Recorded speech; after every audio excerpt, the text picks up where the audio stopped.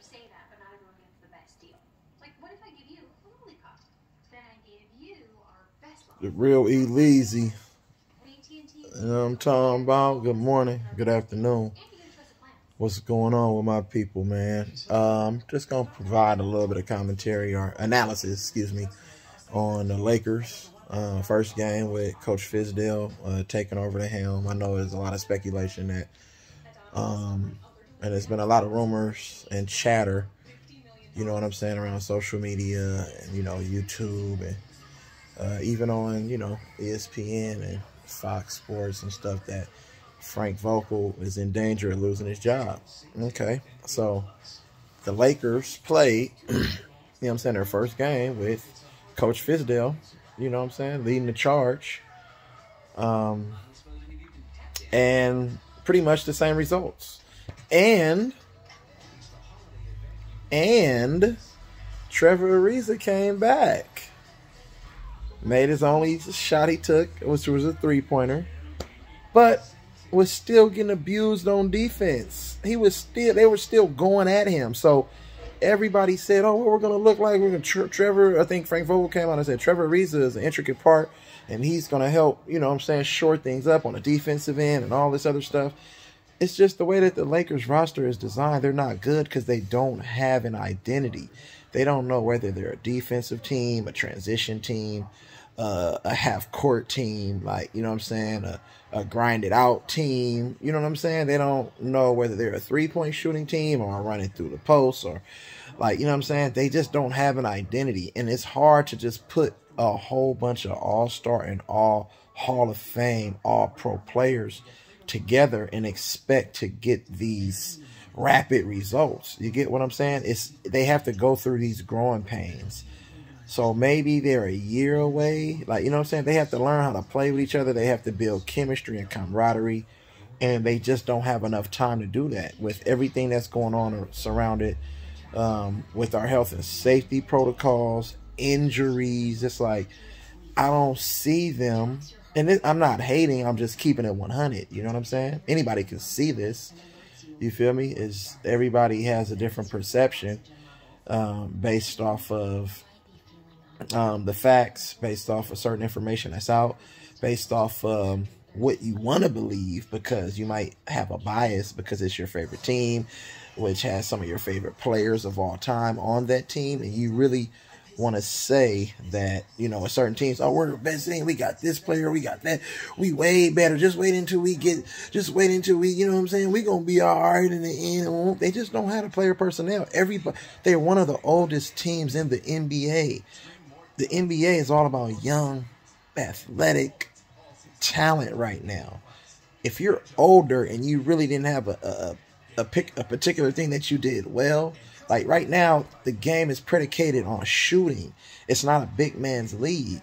Even Joel Embiid, who can post up and pretty much do anything he want to in the paint, shoots jump shots, fadeaways, like you know what I'm saying, three pointers, pull up jumpers. Anthony Davis, pull up jumpers, three pointers, fadeaways. Like, you know what I'm saying? Look at Jokic. He can score anytime he wants to in the paint, but what does he do? He shoots one legged step back threes and fade away. He's in. You know what I'm saying? So back in the day, you really didn't have our big man shooting. Excuse me. You really didn't have our big man shooting a whole bunch of threes. You feel me? It just wasn't a whole bunch of threes being shot. David Robinson, Akeem Olajuwon. If anything, they would shoot a mid-range jumper. Patrick Ewing, but for the most part, they were back back to the basket centers. You know what I'm saying? So you really don't have the Lakers really don't have that. They have big men that want to shoot threes and do all this other stuff when they can just be dominant in the paint. Carmelo, they use Carmelo is older, so I'm gonna tell you, Carmelo is not somebody who's gonna get into an up and down game. He's gonna get winded and tired. He doesn't have the legs for that. Carmelo game is more suited on give him the ball 15 feet and beyond, or no, I mean 23 feet and in, and let him go to work to where he doesn't really have to exert so much energy with ball handling and everything to get his shot off. But just by putting him in the corner, telling him to catch and shoot, that's hard for any player to who's a great scorer to just change their game up and become one one dimensional. Carmelo Anthony is not a catch and shoot three point artist. He's just not. Carmelo is a rhythm three point shooter. Like, you know what I'm saying? Carmelo, if you give it to him and he can spot up or he can get like a little hesitation and get into his rhythm and then pull up, that's when he's most effective with his game. But now teams are asking him to sit over there, sit in the corner, do this, do that. And then they're expecting him to play defense too. No, you have to help Carmelo Anthony on the defensive end. You know what I'm saying? So he can give you that and sustain a high level of productivity on the offensive end. Come on, man. Just think about it. Just look at the games when Carmelo was most effective, how he was used. And then look at the games when he's not most effective and he you know he doesn't have it going. You know what I'm saying? His jump shots are long or they're short because he doesn't have the legs. Just think about that. Just one time. Just we need to keep it 100, man, and have an IQ for this shit.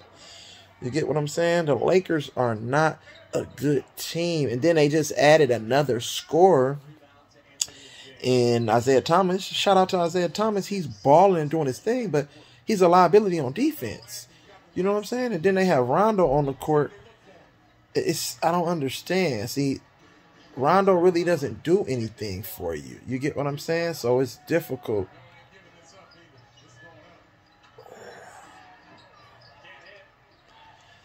It's difficult to get a lot of productivity because you're expecting Rondo to do what? he's not really a great defender. What is he going to run the offense? But if you're running the offense, all he's doing is coming down and just passing it to LeBron. You know what I'm saying? For LeBron to go one on one, it's it's they not they're not a very good team and they're not coached well. You know what I'm saying? I think if they had a different if there was a different dynamic, then I think um, that they'll be okay. But it, they need a little bit more structure. And with LeBron James teams, other than Miami, which he didn't like, see, LeBron doesn't like structure. He wants to be able to be the Tom Brady and the Peyton Manning and the quarterback of the team and call his own sets and do audibles and shit. You know what I'm saying? See, that's what LeBron, his whole career has been that. And that's not hating, that's just a fact. You know what I'm saying? He really takes away from everyone else's abilities, but he couldn't take away from a Dwyane Wade's ability, a Ray Allen ability. He couldn't take away from a motherfucking Kyrie Irving ability because those are great players with one on one. You know what I'm saying? Um, they have a, a different set of attributes to where they don't they they don't have to you know cater to LeBron. They can go get their own. You get what I'm saying? A lot of players on the Lakers right now cater to LeBron. Probably other than Westbrook Westbrook can create, you know what I'm saying, his own too, but he's a little bit out of control in doing so. You know what I'm saying? So that's the one thing that's going to hurt the Lakers. So when you look at the the grand scheme of things in the long run, it's perfect for um, LeBron to go back to his hometown in Cleveland. They have a bunch of players who can get their own. You know what I'm saying? A bunch of players who's skilled and who can fit around a talent like, you know, LeBron James. And I've been saying that from the gets, the Lakers don't have that talent. They really don't have no cap. I don't think anybody wants to go to the Lakers. You know what I'm saying? Because of the way that everything is handled behind the scenes from a business standpoint. Everyone sees that LeBron runs this organization. LeBron doesn't want certain players there get them out of here. Certain players that he wants there, bring them in. But he's only bringing in veteran players, like no other superstars or players that's in their prime wants to go play with LeBron. That's the issue. Think about that. That's the issue right there. Nobody's gonna go play. He don't. Why DeMar DeRozan could have went back home and went to go play for him. Kawhi Leonard could have went back home to go play for the Lakers with LeBron. You know what I'm saying? Paul George could have went to the Lakers to go play with LeBron all of these players could have went to go play with LeBron. Bradley Beal could have went to the Lakers to go play with LeBron. Nobody wants to play with the guy. So that just tells me that nobody really respects him like that. You feel me? Nobody really wants to play with LeBron like that. I'm just saying. Think about that. I need people to keep this shit 100, man. Stop fucking capping for these weak ass niggas. I'm just saying. Lakers are garbage as fuck, man. And it's sad because I was a Laker fan. up until when they killed Kobe and they brought LeBron in, I already knew what was going on. I said, I can't ride. I'm not riding with a motherfucker like that. You know what I'm saying? I'm not riding with a motherfucker like that.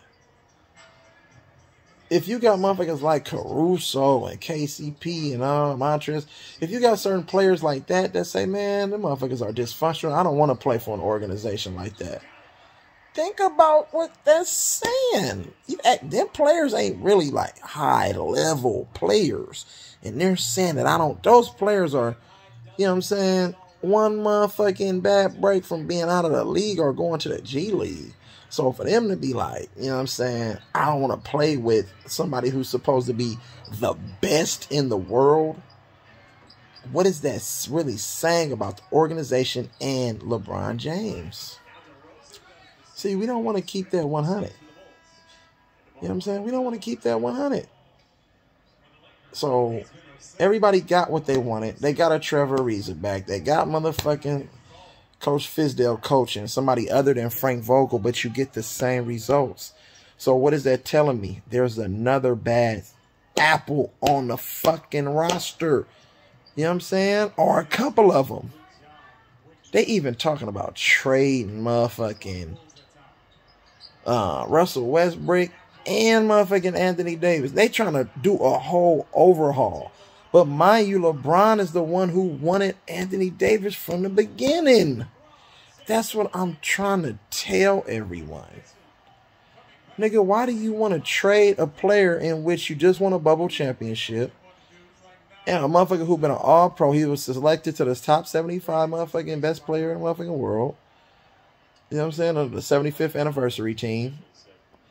Why would you want to trade that guy? Because of what? He's not living up to the expectations everyone had for them at the start of the season. You know what I'm saying? Nobody said nothing when they was motherfucking uh when they was winning in the bubble. Why nobody said nothing when he when they were in the bubble? Everybody thought they was gonna win hundred thousand championships. Just think about that, man. Come on, man. This nigga garbage as fuck. Anthony Davis been weak to me only because he's always been fragile and injury prone. Yes, he has skills and talent for his size. He doesn't know how to use them. He's just playing strictly off of his athletic ability. When that athletic ability is taken away from you, what are you going to do? He has more knee injuries, foot injuries, ankle injuries, shoulder injuries. He's a pretty banged up big man. So now what he needs to do is transfer his game to where he doesn't really have to work that hard and put that amount of pressure and torque on his muscles to get a bucket. He can face up from at least 15 feet away, knock down the jumper, post his guy up. Just back to the basket. He's big and strong, agile, long. Back to the basket, jump hook, right hook, up and unders.